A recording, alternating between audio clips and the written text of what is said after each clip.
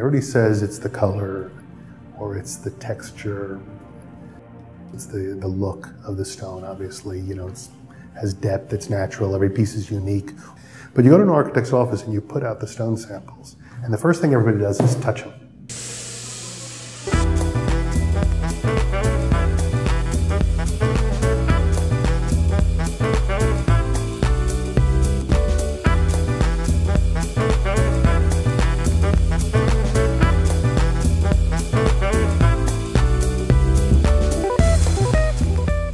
I was born in Belgium. We left when the Germans uh, invaded Belgium in May of 1940. And we went from Belgium to France to Spain, and then from Spain to Portugal. What happened was my mother and I were walking down the street, and I saw that there were workers paving the street with marble. And I was amazed because when I was in Belgium, the only places where you saw marble were museums, the King's Palace. It was something that I considered to be very special. And I told my mother, these people must be very rich. She said, no, they're not very rich. It's just that marble here is very cheap.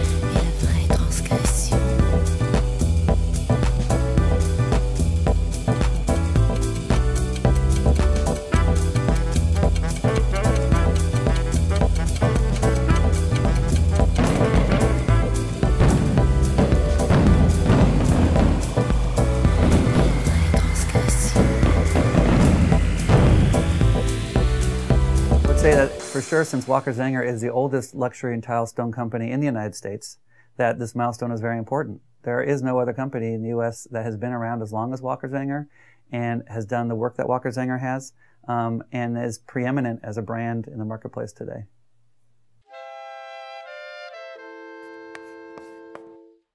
After I got out of the army, I got a job at an export company. They said, We want you to start an import department. I said, What do you want me to import? They said, We don't care. Okay, I know something that I can import. He said, What do you want to import? I said, I'm going to import marble from Portugal. He, he saw the potential of a, of a great market there, and his bosses were not willing to finance it. So he decided that he would go off on his own. Marvin Walker, who was working in the export department, says, I heard you're going into business for yourself. He says, Would you like a partner? I told him this. The first year, every penny we make stays in the business. No salaries, no nothing. He had a wife who worked, she supported him. I had a wife who worked, she supported me. I saw an ad in the newspaper, a company that had wrought iron tables with glass tops. And I said, suppose I gave you marble tabletops and that you could put them on the same wrought iron basis and you could sell those tables for the same price, $39, and make a good profit. So they gave me an order right then and there for $10,000 worth of tabletops. The shipment came in. On Monday morning, there was a line outside the store around the block. Within two hours, they were sold out. I went to the big stores, Macy's, Gimbel's, Sears Roebuck, and they all gave me orders. At the end of that year, we had a million dollars in the bank.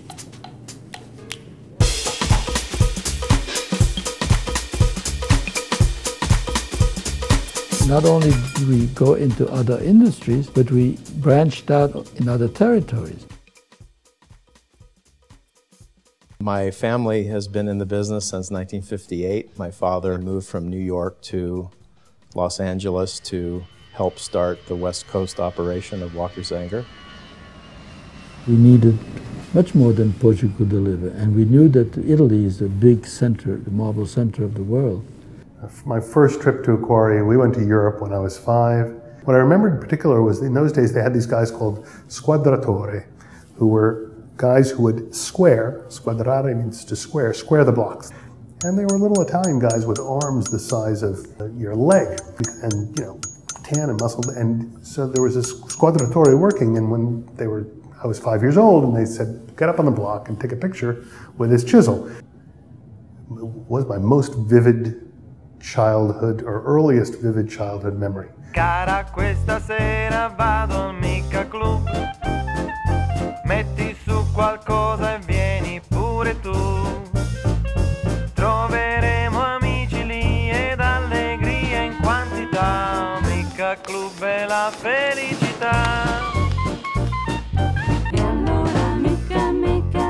mica blu.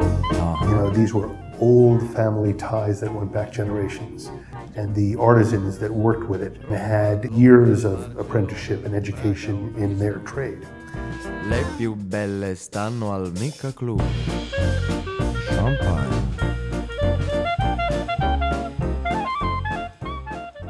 It would take normally two to three weeks to saw a block of marble. Eventually, they found ways to saw marble with diamond blade, and diamond being the hardest material available, went through the marble in 24 hours sometimes. But now that they could saw marble in 3 8 inch, they could make lightweight tiles, small tiles that you could use like ceramic tiles. That was a revolutionary breakthrough at the time. In the early days of the stone business, everything was very thick and, and needed to be cut by specialized stone cutters. And now it could be installed by any tile contractor.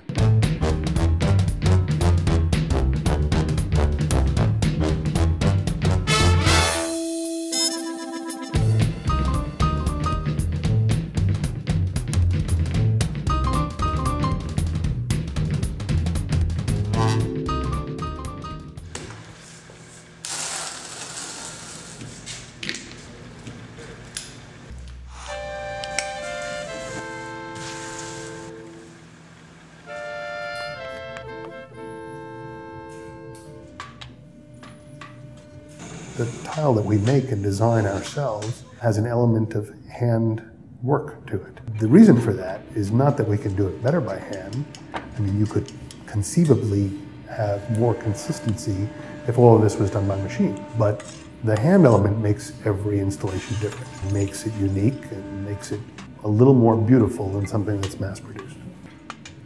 We were working with a new factory in Mexico, and this factory was trying to combine the best of handmade tile tradition and also incorporating modern technology to make the tile superior. But the tile was still hand pressed, hand glazed, and those were techniques that have been used in tile making for thousands of years. It's very difficult to combine the industrial production and the handmade qualities um, and make tile on a consistent basis. But that's one thing that has been integral to Walker Zanger's success.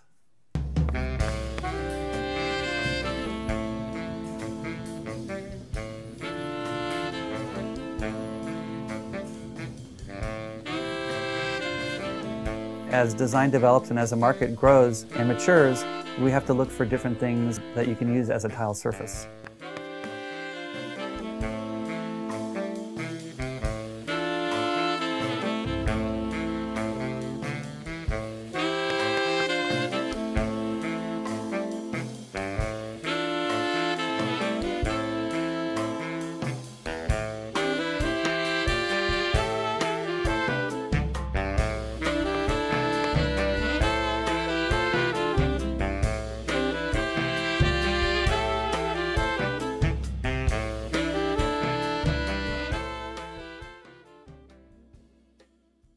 Early days of the company, we were producing product that other people designed.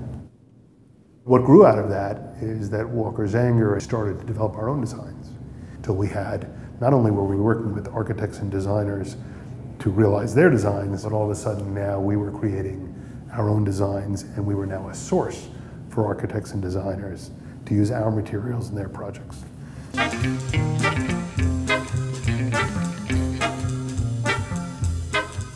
Two or three years after I was at the company and started working on, you know, the first collection that I designed, um, I think that pretty much hooked me. But there's something about the creative process, beginning with a blank piece of paper. I mean, that's a really exciting part of this job is starting out with an idea and then seeing that idea come to life and then seeing that idea in someone's kitchen.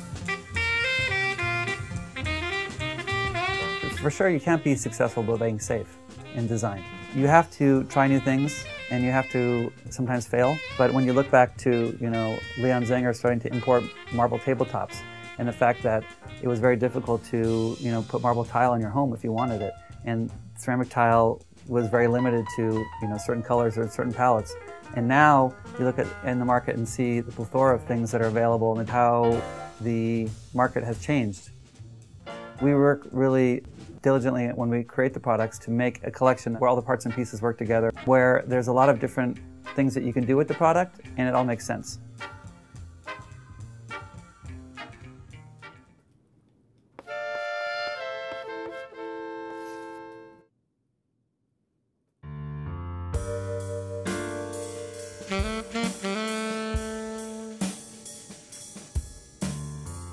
Probably a once in a lifetime job in terms of attention to historical detail.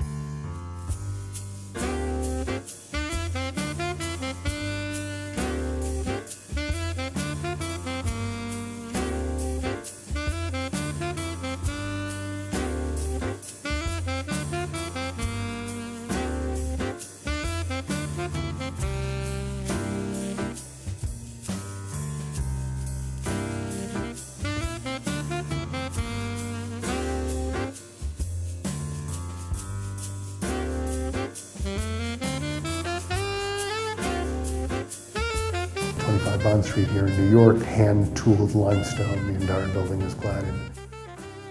In the Metropolitan Museum in New York City, which was fantastic. We recently completed the Tiffany store in Kazakhstan. Viceroy Hotel in Anguilla.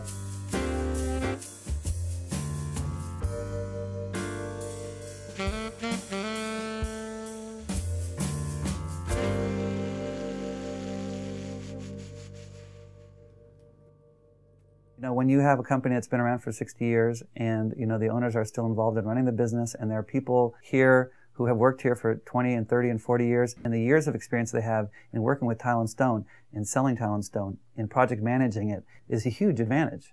The first thing my father tried to communicate to me, or tr- tried to try to instill in me, I think, are the you know his principles for running a business: um, honesty, fairness, fairness to your supplier, and fairness to your customer. We are a, a company uh, that survives because we are hardworking. The whole idea about being happy when you're working is that you like what you do. And that's, that's why I'm happy. And that's why I'm still in business.